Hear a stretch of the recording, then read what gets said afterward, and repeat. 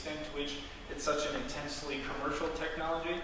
Um, consider, for instance, that it's a market research tool that produces a lot of information about everyday behaviors. It's an advertising space that we take with us wherever we go uh, that occupies a considerable amount of our attention. It's also a retail space through which we have access to a near infinite range of goods and services. It's a uh, payment system with things like Apple Pay uh, and other wireless payment services. It is a multi-sided market uh, platform that links app developers with end users and things like the App Store. Um, and of course, it's a global commodity, something that's produced, distributed, uh, and sold throughout the world. Uh, and the fact that all of these elements are contained within one personal device, I believe is a historically unique situation, and I think something that's quite significant. Uh, so I've come to see the smartphone as this very important nexus where these forces meet. Uh, a site where, uh, a site of concentrated interest by very powerful institutions. So because of this, I'm interested in thinking about the smartphone as a key infrastructure in capitalist systems of production and, exchange, as infrastructure used by commercial institutions to achieve their goals in driving consumption. So in this presentation, uh, I focus on a new technology, the beacon, in order to explore how exactly the smartphone is incorporated into institutional strategies designed to uh, manage and control our consumption. Uh, so to do this, I looked at a number of uh, Beacon companies and Beacon-related websites, uh, looked at uh, their promotional material, videos they have up on YouTube, blogs that they keep. Also paid close attention to tech press websites like TechCrunch and Business Insider, the way they talked about these companies and the technology. And then I also pay very close attention to advertising, marketing, research industry literatures about the way they talk about uh, beacons and smartphones and how they can be incorporated into their uh, industry practices. But today I'll be talking specifically uh, about one company, Estimote, that actually makes uh, beacons themselves. So uh, first of all, what is a beacon? Uh, beacon's very simple. As you can see here, it's, it's blown out diagram. Basically a, a weatherproof casing inside of which is a small programmable Bluetooth antenna powered by a little coin battery which you can use it for scale there. Um, and all it does is sit in a particular physical location and uh, emit a Bluetooth signal. And that's it. Um, and that's why the term beacon takes its name from a lighthouse, because it operates on the same principle. It's fixed to a particular location and emits a signal that can be used by others. There's no pairing, connecting, or syncing. The beacon doesn't see the smartphone like the lighthouse doesn't see ships. It's app software on the smartphone that sees the beacon uh, that recognizes it and then uses the signal like a ship to infer physical proximity and spatial orientation. And the software uh, can also use beacon signals to trigger context-specific actions like greetings when you walk into a particular place, uh, contextually relevant information, and uh, even navigation through interior spaces and that kind of things. Um, it's also important to know that beacons are not a consumer technology. It's not something you would go to Best Buy and purchase. Uh, beacons are infrastructural technology that software developers use to create smartphone apps that can interact uh, with a particular spatial location. A beacon is essentially a platform for spatial computing, a way to bring space online and make it interactive through the smartphone. Beacons are also always multiply deployed in networks. There needs to be beacons on several walls uh, in order to triangulate the smartphone's spatial location. And it's also useful to have beacons in close proximity to objects that are meant to be interactive so that they can trigger software actions when users get close. Uh, now, beacons emerged as a possibility only three years ago when Apple released its um, iBeacon protocol with a software update. Um, uh, sorry, Google uh, followed shortly after with their own protocol called Eddystone. Uh, so that means now, over, you know, hundreds of millions of smartphones are capable of detecting these Bluetooth signals. Um, and of course, that inaugurated all new industries, out of which emerged companies like Shopkick, uh, which designs and implements turnkey beacon solutions for businesses and venues, as well as Estimote, uh, the company I'm talking about here today. So Estimote is a uh, Silicon Valley startup that builds the physical beacons themselves. They offer a software development kit or SDK that gives app developers a way to interface with the beacons and integrate them into software applications. And they also offer services, or cloud services, for developers to manage networks of beacons, something that's necessary to offer a coherent interactive spatial experience for end users uh, because the connectivity between the smartphone and the cloud is really where the magic happens. Um, so Estimote sells a spatial computing platform or as the company puts it, an operating system for physical locations. Now, Estimote began as the brainchild of two Polish tech entrepreneurs, Jacob Krzych and Lukas Kostka. They started the company in 2012 in Krakow, Poland, before moving to San Francisco a year later to participate in the Y Combinator, which is a kind of venture capital fund that mentors uh, and invests in promising entrepreneurs. They ended, up, they ended up receiving over $24 million in venture capital. They're now one of the top five beacon companies in the world uh, with offices in San Francisco, New York. Um, but very importantly of all, Estimote emphasizes kind of the open-ended possibilities of its beacon platform, the ways that they can be used uh, in museums and hospitals, in schools and stadiums. The Estimote beacons are designed and developed specifically to fit within commercial retail practices and to meet those particular industry needs. As they say on their website, quote, our primary area of interest is brick and mortar retail stores. More than 95% of transactions worldwide are still made in, in physical venues, and more than half of consumers visiting stores have smartphones. So I think this um, phrasing and logic are important because, in fact, when we look closely, beacons are the realization, or I would say the materialization, of an industry discourse called ubiquitous commerce, or u-commerce. Now, u-commerce is a conceptual system that emerged around the year 2000, kind of in anticipation of the emerging possibilities of ubiquitous connectivity and how that could be put to use for commerce. Uh, the idea is essentially to unite all retail channels, both online and offline, into one integrated, boundless, frictionless market that exists everywhere. Uh, and that is, of course, uh, it is, of course, the ubiquitous connectivity of the smartphone that has made this a possibility. Um, now, there are several driving visions of u-commerce, and this is one uh, in particular that beacons are meant to uh, fulfill.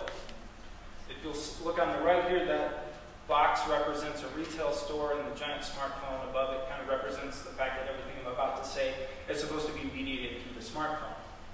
So the idea is first to entice you to come into the store. So if you're walking by uh, the store, they can push, push you a notification saying, hey, that sweater you were looking at online, uh, we have it in your color uh, that you're looking for and, and, your particular size. If you come in right now, we'll give you 20% off. Something like that. And so once you're in the store, uh, they want to be able to push you other information about goods and services that they think you might be interested in.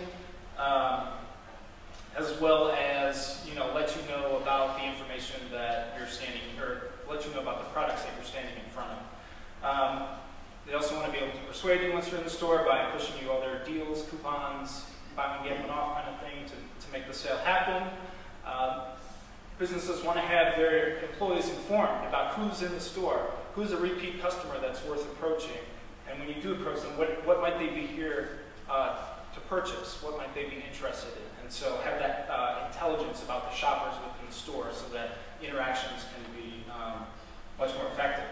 Of course, beacons can be used for wireless transactions, and then all of this data about you know, what brought you into the store, how you moved through the space, where you lingered, what you ended up purchasing, uh, can then be aggregated and combined with uh, data about uh, your online shopping behavior and stuff like that, and used to retarget uh, consumers in a variety of ways. So in addition to e-commerce, um, beacons also serve the needs of retailers' spatial practices. Store owners have long known that ordering their space, organizing their products, and interacting with customers are techniques that increase the likelihood of a sale. These techniques evolved over time into a science of shopping that uses surveillance of the way consumers move through the store and interact with objects to inform re rearrangements of the retail space into new configurations that can produce returns as high as 10%. Uh, to this end, Estimote offers retailers, quote, a new opportunity to understand how people behave and engage with products in store. Um, and so they represent their beacon platform as a useful way to generate data about the spatial dimension of consumers' shopping practices. Uh, beacons are also meant to deploy the personalization capabilities of e-commerce in physical retail space. Of course, knowing what people want, getting it in front of them, and customizing that experience is part of the great success of online vendors like Amazon. Uh, but it is impossible to customize the physical space of a store for the range of people that shop there. To this point, Estimote frames its platform as a, quote, sensor-based analytics and engagement platform, which is industry speak for exploiting user data to customize interactions with shoppers. So the physical shopping experience uh, itself can't be personalized, um, it can be virtually personalized through the smartphone. Uh, so these industry discourses and managerial strategies I've just described have led to the material investment in beacon technology and the rise of companies like Estimote and Shopkick, and now the adoption of beacon systems by major retailers like Macy's, Best Buy, JCPenney, Sports Authority, and Target. But I doubt any of you have had a beacon-enhanced shopping experience, at least not yet. Uh, it's important to remember that these persuasive techniques are still in the process of being rolled out and integrated into our routines and habits. Their efficacy and viability are still an open question. But Estimote and Beacons together show us one way in which our smartphones are used as infrastructure by commercial institutions in their attempts to manage and control our consumption. James Beniger argues that modern advertising is the form that communication takes when it is deployed to control consumption. But it is not just the content of advertising uh, that is persuasive. It is also the very structure and design of the system itself. In the case of beacons, this persuasive structure and design is spatial. Now, Doreen Massey tells us that space is open-ended, is open-ended and unstable as we all contribute to a particular location's becoming. But smartphones and beacons are deployed in retail to close off and stabilize that open-ended space, to identify and direct flows of people and goods, to make the practices of that space knowable, interactive, predictable, and manipulable. Essentially, to structure space in ways designed to encourage consumption. So to close, I will say that we find ourselves in a highly problematic situation. On the one hand, we are greatly empowered by the ubiquitous connectivity of smartphones, increasingly depending on their affordances to accomplish our everyday tasks. But on the other hand, the smartphone is the site of great interest by some of the most powerful institutions in the world, a site where tremendous power is concentrated and where we are vulnerable. Ours is not the only agency that acts through our smartphones. So we need to be more critical and wary of our technology. Uh, our smartphones are literally being programmed to manipulate our behavior. I'll leave it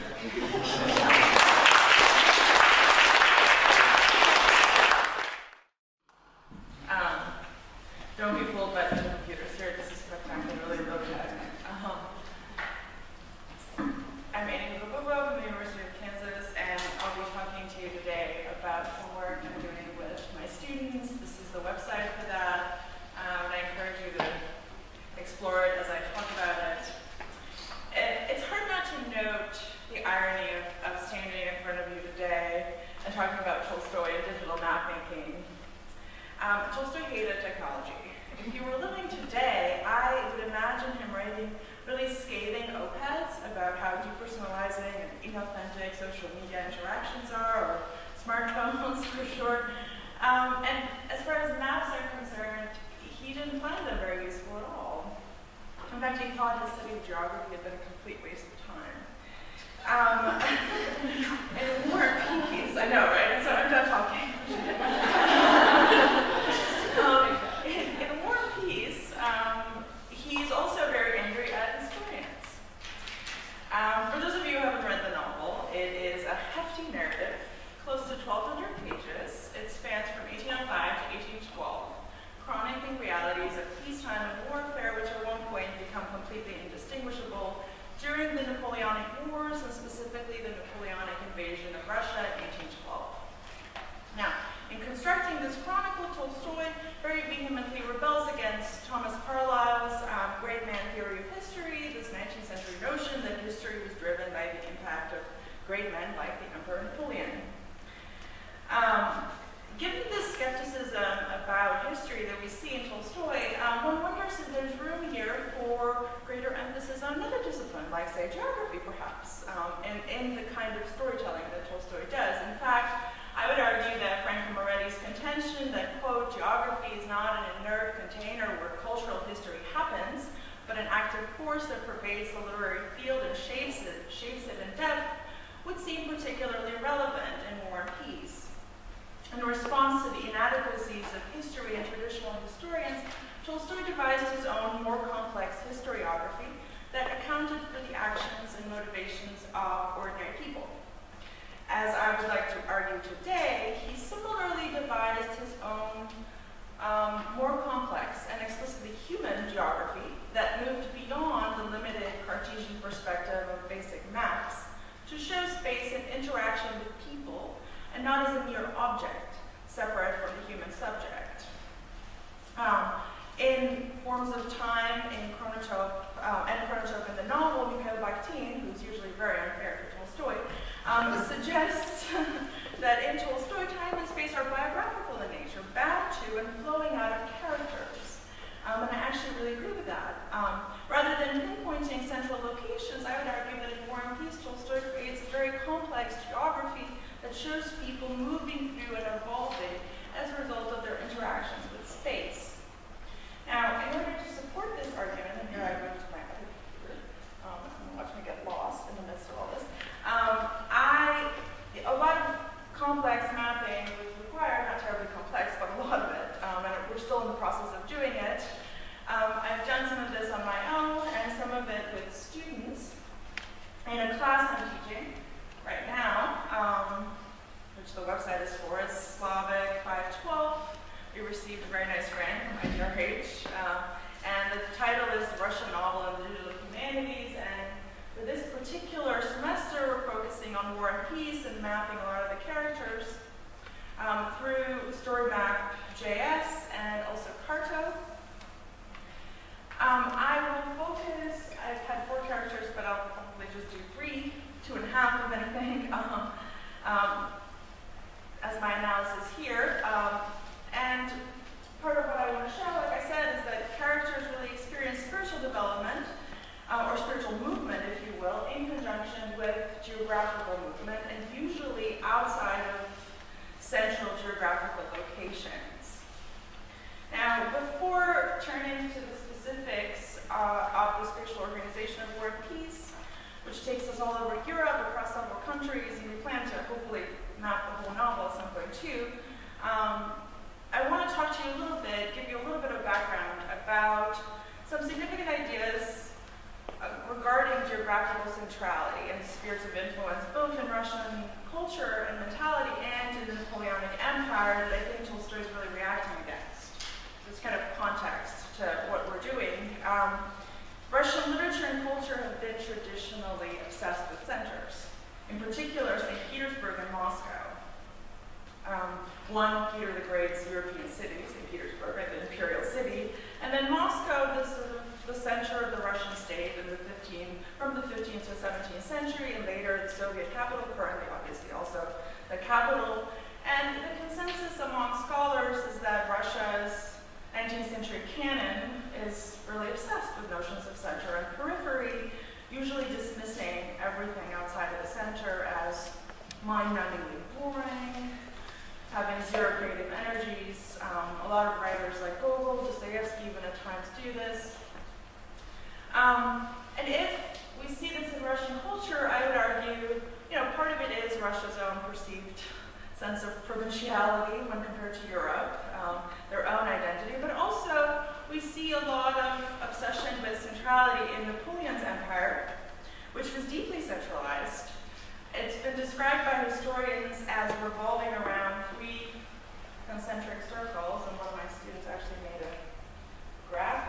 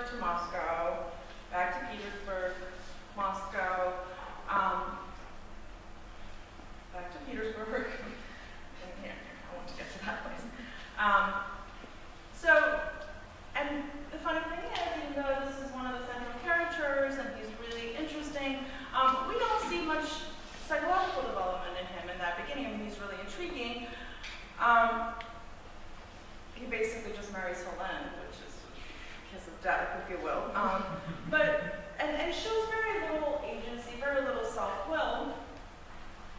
Um, but at one point, we see him stop somewhere between Petersburg and Moscow at Torzhok, which is smack in the middle. Um, and here he meets um, the famous leader of the Freemasons, who, you know, inspires him, and that's when Pierre begins to sort of embrace Masonic beliefs and is really interested in charity. So Freemasonry up being the answer to his life's question, because he's kind of constantly searching, but this moment is really transformative for Pierre. It's the first in many spiritual terms for him. Um, and then we see him later keep moving to other parts, right, to less centralized locations. Um, here it's near Tula, Bogucharovo, completely out of place. And, and really see him growing as he's moving out of the sphere of influence of the centers to moving beyond that Petersburg, Moscow of um, locational centrality. Um, so anyway, I mean, his, his spiritual journey is really matching, I think I'm running out of time, really matching his, his geographical journeys. So to, to conclude very briefly, um, as I hope my very limited um, analysis here has shown, there's a geographical element to the narrative construction of War and Peace. Um, Tolstoy insists time and again in the theoretical passages of the work, which get really, really long over time, history does not take place because of the will of a single person, but rather because of the choices of thousands and thousands of people. So what I've tried to show with this very selective mapping is that geography is not really a blank container for the plot of the novel, but rather this formative presence in the lives of individuals. Um, the realized life of Tolstoy characters is lived through space, and so history too is the sum total of these many journeys, um, thus acquiring a broad geographical character. There you go. Okay.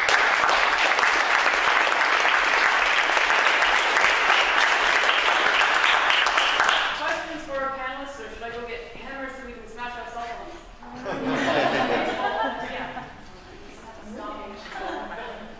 Um, I have a couple questions and observations for Cole and the smart one thing. So one thing I was thinking is that um, Bluetooth beacon technology is not that new, really, right? It has a much longer history. In fact, I put together a Bluetooth beacon about 10 years ago for art project I did when I was a graduate student. Um, so I wonder if maybe there's something about the kind of weird um, way in which it's constantly a sort of vaporware technology, even though it actually exists, um, that's really interesting and sort of a you know a key kind of point that, that could be elaborated on. I'm thinking of like I don't know if you know Bruno Latour's work on uh, the book Aramis on self-driving um, or, or like self-conducting um, tram systems, essentially subway systems, um, that kind of you know seems really relevant to me today with all the like hype on you know self-driving cars and stuff. But I think there's a similar thing going on at work, you know, there with the Bluetooth beacons. Um, and then the other thing I was kind of interested in is I think that your analysis of consumption is interesting, but the smartphone is also now a locus of production, right? So if you have Uber, you know, TaskRabbit, Airbnb, if you have these apps on your phone, you're not just buying things and being marketed to, you're selling yourself or renting your property, right? So I think that would be an interesting thing to kind of include into this analysis as well. Yeah, I would say there's uh, so much more involved in this project than what I was able to talk about, but the idea of the prosumer, the person who is, I mean, because of our digital technology is two-way and interactive, we both produce and consume simultaneously. I mean, essentially that's what Facebook, um, you know, all of our social media is. Um, so yeah, that you're right. That that whole element of um, being producers and consumers at the same time is huge. And all these business models are built around that, understanding that we do this free labor because it's either a labor of love or something that we have to because it's, you know, for our sociality or, or uh, you know, for job prospects or things like that. And But it's not just free labor, right? It's actually like, you know, I mean, this is the new like Right. sort of temporary work paradigm. Well, it's both, for sure, Yeah. yeah. Um, yeah, right, and so that's something I'm working on, is trying to wrap my head around, you know, digital labor in the 21st century and, and kind of what those dynamics are and how we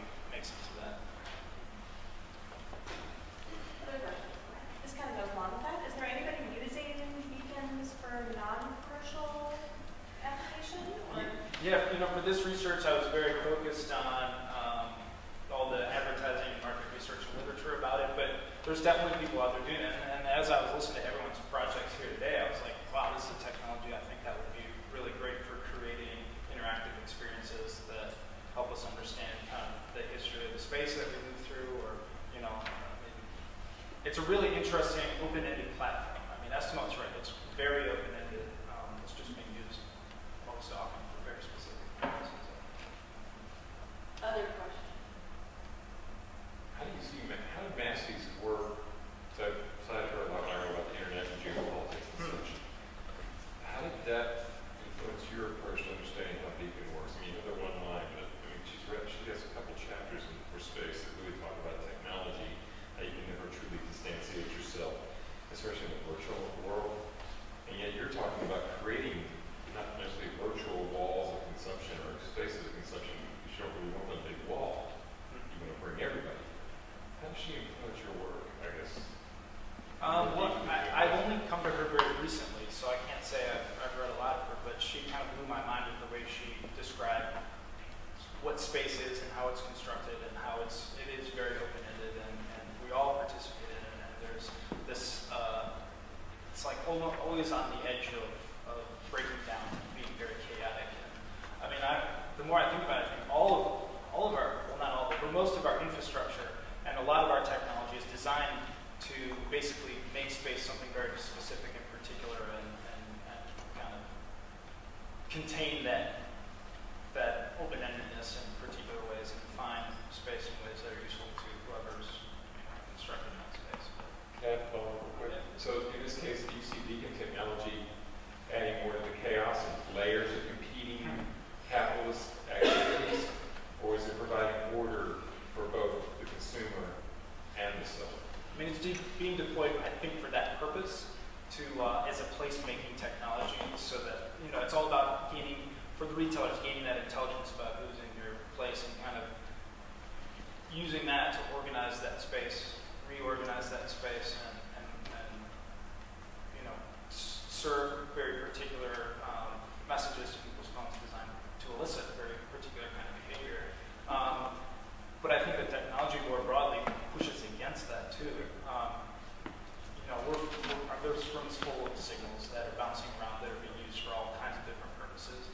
Um, and I think that's what's really exciting about this technology. You know, I kind of live in a schizophrenic world. I think this stuff's really cool and the possibilities are, are really neat, but uh, at the same time, it's like, it's kind of dystopian how it's actually being used and the reason it's here for a lot of reasons.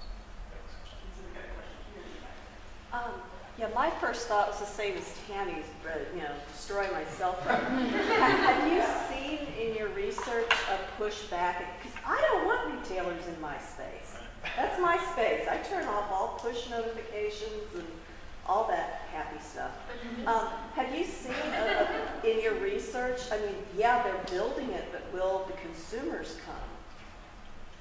Yeah, I think there's something called like the black phone or something like that that's supposed to be super secure and um, you know designed not to share data with anyone else. But I mean, the really interesting thing is so many of the contemporary business models for information technology are really designed around uh, this kind of free sharing of information, um, about producing information about the users and using that. I mean, we live in a world where there's so much information. If we didn't have it being personalized for us in some cases, it would just be overwhelming. You know, Google, that's the great utility of Google is that it sorts the information so that we get exactly what, what we need. But to be able to do that, they need to know about your preferences and where you live and what, what you might mean by that particular phrase that you just typed in. So it's, I mean, there's no easy answers to this. It's all contradictory because um, in order to participate in Facebook and Twitter and Google and all this information technology, you have to give away information about you that can be used in a variety of,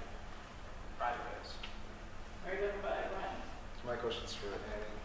Uh, so the project seems to imply that Tolstoy himself had a certain level of respect for characters who are more noble or who are at least outside of the sort of core areas, right?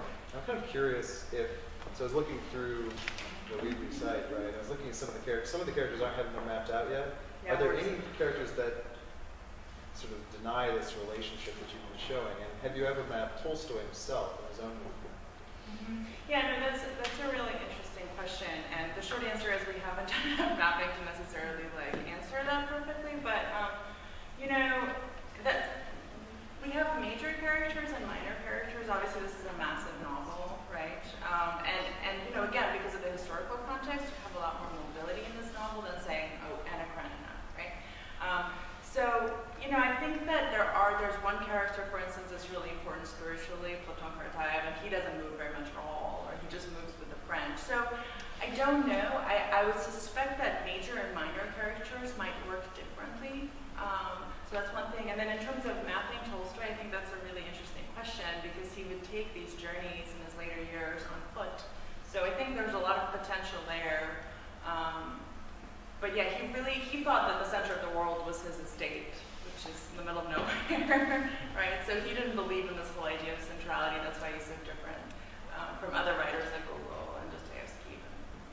So yeah, I think those are really great questions, and I hope to have better answers eventually.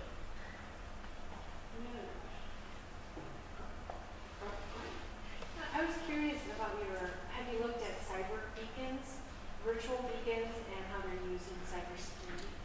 I'm not sure I know what cyber beacons are. I, I mean the like the little things that load on the web page in order to essentially track where you're going. No, some things like, um, if you have a, s- a doc- a document that you think someone might be interested in, uh, putting up some code in it so it calls phones help to say who took it, or when it was taken, or where it's posted, if it's posted, or who accessed it, that sort of thing. Huh. I did not know about that, but uh, I'll look into that. Yeah, I have a question about Tolstoy. Mm-hmm. Well, not so much about Tolstoy, but just about narrative. You know, when Allison presented earlier, she said it'd be great if we could have develop a GIS that represents something like religious space. Mm-hmm. Now, when I think about the division between environmental space, the space that you sort of subjectively occupy and experience, which is mm-hmm. most often the space of narrative, is the space of knowledge, and geographic space, which is the space of the map. I mean, I'm not sure if this is still considered a uh, theoretically rigorous division. But it seems like one of the things that you do in that novel is that you toggle out of the environmental space of the narrative into the geographic space. And it just seems like such a perversion of the novel as a form, and maybe a really good one. Um, but what, I mean, is there, what if, what's at stake in that from writing that novel?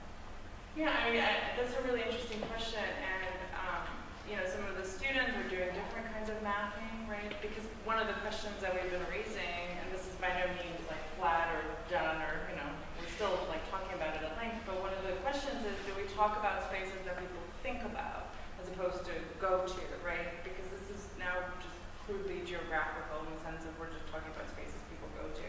But then they think about, oh, that space was really important, right? Napoleon probably thinks a lot about Paris, you know. So, so it's interesting to think about that, and then letters, right? Where letters go, right? The movement sort of of letters, correspondence. Um, two of my students are doing a project about geography, because the novel is one third of it is in French, random, but yeah, it's, it's constantly translated in the English translation. So my students were talking about the use of French and the use of Russian, right, and how that plays with geography. So maybe the, the hypothesis is that as Napoleon comes into Russia, we're using French in Russia less. Um, so, so we're definitely playing around. I really like your distinction between, you know, lived space versus like geography. Um, and I don't, I don't know how to grapple with it